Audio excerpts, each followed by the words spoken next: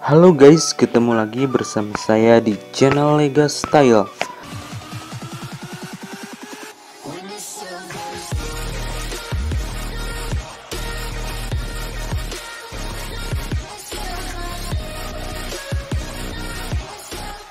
Di sini saya akan memberikan suatu tutorial atau trik bisa disebut juga sebagai trik. Kali ini saya akan memberikan trik cara bikin layar Android menjadi hitam putih tanpa perlu aplikasi. Oke, karena memang tidak ada aplikasi yang perlu digunakan, kita langsung ke setelan. Oke, kita klik setelan atau pengaturannya.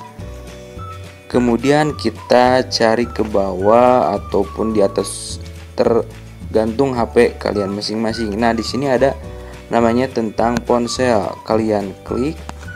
Nah, kalau diklik ini beberapa kali tidak ada respon, kemudian ini tidak ada, ini juga tidak perlu Anda sudah menjadi pengembang. Oke, kita kembali. Nah, di sini kita masuk ke opsi pengembang. Klik opsi pengembang. Kita cari Oke, kita cari kita cari sebentar. Oke, sebentar. Nah, di sini ada simulasikan ruang warna. Nah, memang di sini banyak pilihan warnanya ya, karena saya tadi menjelaskannya cara menghitam putihkan.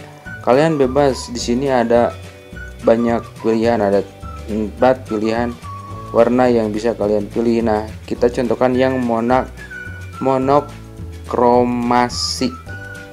Kita klik. Monok nah ketika kita sudah mengklik monokromasi nah ini sudah berubah menjadi hitam putih. Tuh guys hitam putih. Oh apa pun dalamannya sudah menjadi hitam putih.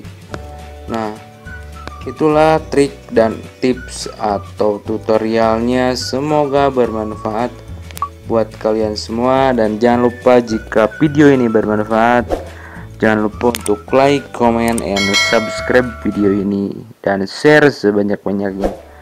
Terima kasih